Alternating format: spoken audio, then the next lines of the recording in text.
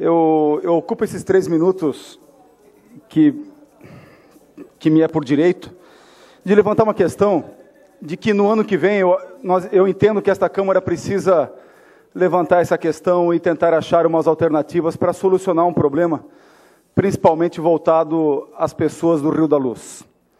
Nós sabemos que o Rio da Luz ele tem um comprometimento ali tombado pelo patrimônio histórico, uma dificuldade muito grande que os moradores do Rio da Luz enfrentam.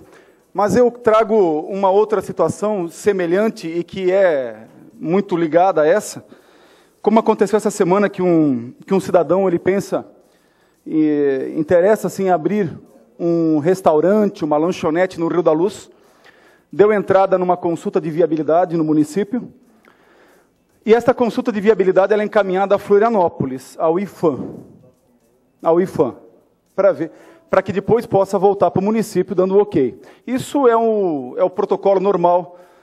Só que o grande problema é que os, os protocolos no IFAM, vereador João Fiamoncini, no IFAM estão demorando, em média, de quatro a seis meses.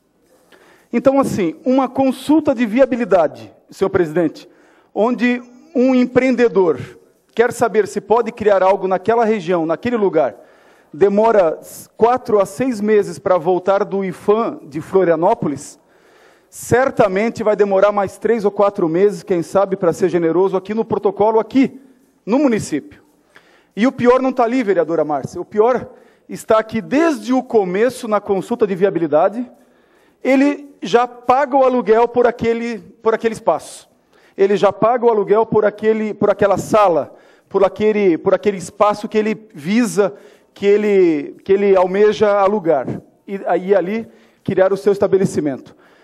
Então nós temos que criar uma frente de trabalho, e é difícil por ser o final do ano, mas que no ano que vem nós possamos criar aqui nesta Câmara, quem sabe, uma comissão e que nós possamos apressar, acelerar os trabalhos ligados ao IFAM em Florianópolis.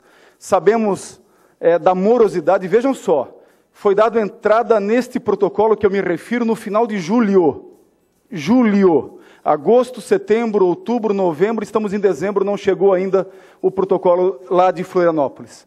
Quando chegar aqui, vai ter mais quatro a seis meses para os trâmites do município.